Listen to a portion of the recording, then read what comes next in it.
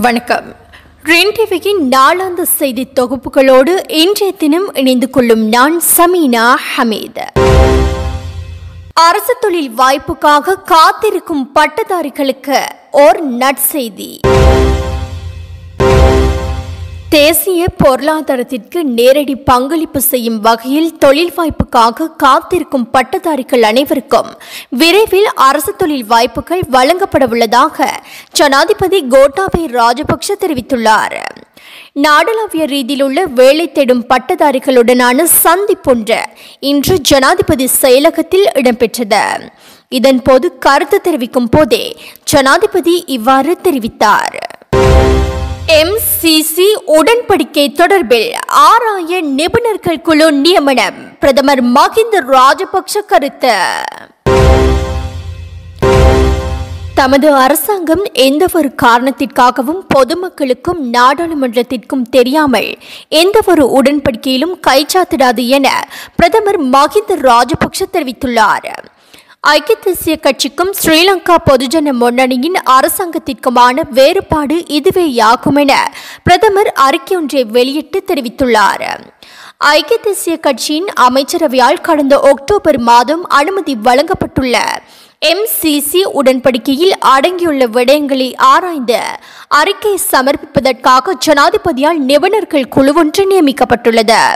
அந்த குழுவின் அறிக்கையை ஆராய்ந்து அது தொடர்பில் மேற்கொள்ள வேண்டிய நடவடிக்கை என்னவென்று அமைச்சரவை எதிர்காலத்தில் நாடாளுமன்றத்திற்கும் பொதுமக்களுக்கும் அறிவிக்கும் என பிரதமர் தெரிவித்துள்ளார்.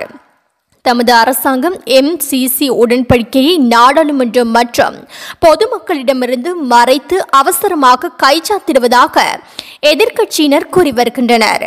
எனினும் தற்போதைய எதிர்க்கட்சியின் தரப்பில் பிரபல தலைவரான முன்னாள் நிதியமைச்சர் மங்கள சமரவீர நாடாளுமன்றம் மற்றும் பொதுமக்களிடமிருந்து மறைத்து அவசரமாக கைச்சாத்திடுவதற்கு நடவடிக்கை மேற்கொண்டதாக பிரதமர் மகிந்த ராஜபக்ஷ தமது அறிக்கையில் சுட்டிக்காட்டியுள்ளார்.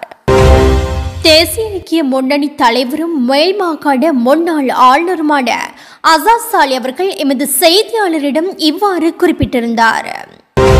எதிர்வரும் பாராளுமன்ற தேர்தலில் தேரர்களுக்கு வேட்புமனு வழங்காமல் இருப்பதற்கு ஸ்ரீலங்கா பொதுஜன பெருமுன முடிவு செய்துள்ளது.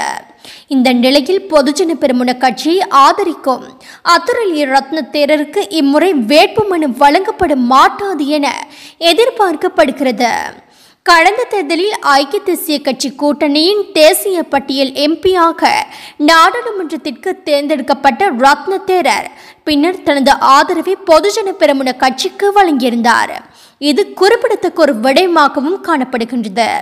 இதே போக்கில் தான் விஜயதாஸ் ராஜபக்ஷ அவர்களும் செயல்பட்டதாகவும் தெரிய வந்துள்ளது. இது குறித்து ஐக்கிய தேசிய கட்சியின் மேல்மட்ட உறுப்பினர்களின் அவதானத்துக்கு கொண்டு வரப்பட்டதாக தேசிய ஐக்கிய முன்னணி தலைவரும் மேல் மாகாண முன்னாள் ஆளுநருமான அசாசாலி அவர்கள் குறிப்பிட்டிருந்தார். நாடாளுமன்ற தேர்தலில் போட்டியிடவுள்ள முன்னாள் ஜனாதிபதி மைத்ரிபால சிறிசேன. எதிர்வரும் பொது தேர்தலில் தாம் போட்டியிட உள்ளதாக முன்னாள் ஜனாதிபதி மைத்ரிபால சிறிசேன தெரிவித்துள்ளார். ஹிங்குரகொட பகுதியில் நேற்று இடம்பெற்ற நிகழ்வொன்றில் கலந்து கொண்டு கருத்து தெரிவித்த போதே அவர் இதனை குறிப்பிட்டுள்ளார். தம்மிடம் முன்வைக்கப்பட்ட கோரிக்கைகளை பரிசீலித்து தாம் இந்த தீர்மானத்திற்கு வந்துள்ளதாக அவர் குறிப்பிட்டுள்ளார். நடைபெற்ற ஜனாதிபதி தேர்தலில் ஸ்ரீலங்கா சுதந்திர கட்சி ஜனாதிபதி கோட்டாபய ராஜபக்சவுக்கு ஆதரவு வழங்குவதற்கு உடன்படிக்கையொன்றில் கைச்சாத்திட்டிருந்தது. அந்த வகையில் அவரது வெற்றிக்கு ஸ்ரீலங்கா சுதந்திர கட்சியின் பதினேழு லட்சம் வாக்குகள் வழிவகுத்தன என்பதில் மாற்று கருத்தில்லை. எதிர்வரும் மார்ச் மாதம் அளவில் நாடாளுமன்றம் கலைக்கப்பட்ட பொது தேர்தலுக்கு முகம் கொடுக்க வேண்டும்.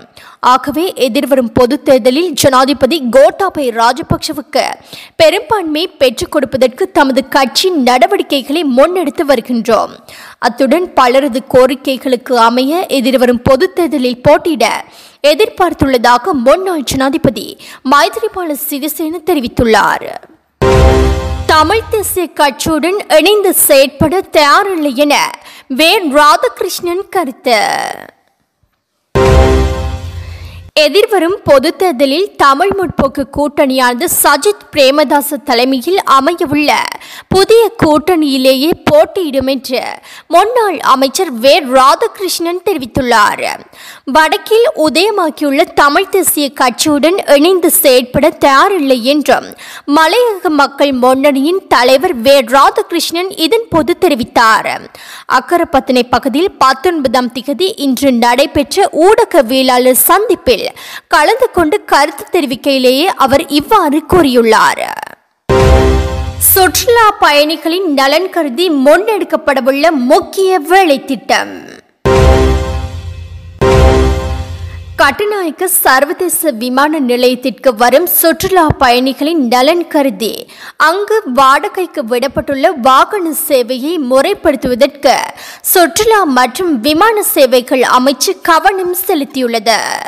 ஜனாதிபதி கோட்டாபய ராஜபக்ஷவின் ஆலோசனையின் பேரில் விமான நிலைய சுற்றுலா வழிகாட்டி சாரதிகள் சங்கத்தின் பிரதிநிதிகள் மற்றும் சம்பந்தப்பட்ட அமைச்சர் பிரசன்ன ரணதுங்க ஆகியோருக்கு இடையே கலந்துரையாடல் ஒன்று இடம்பெற்றுள்ளதாக தெரிவிக்கப்படுகிறது. இதன்போது சுற்றுலா வழிகாட்டிகள் மற்றும் சுற்றுலா சாரதிகள் பதிவு செய்வது உள்ளிட்ட அவர்களுக்கு சிறந்த பயிற்சி வழங்கி சான்றிதழ்கள் வழங்குவது தொடர்பிலும் அதிக கவனம் செலுத்தப்பட்டதாக தெரிவிக்கப்படும். தெரிவிக்கப்படுகிறது தொழிலாளர்களின் ஆயிரம் ரூபாய் கொடுப்பனவு நிச்சயமாக பெற்றுக் கொடுக்கப்படும். ஜனாதிபதி கோட்டாபய ராஜபக்ஷ வழங்கிய தேர்தல் வாக்குறுதிக்கு அமைவாக பெருந்தோட்ட தொழிலாளர்களின் ஆயிரம் ரூபாய் கொடுப்பனவு நிச்சயமாக பெற்றுக் கொடுக்கப்படும் என இலங்கை தொழிலாளர் ஐக்கிய முன்னணி தெரிவித்துள்ளது.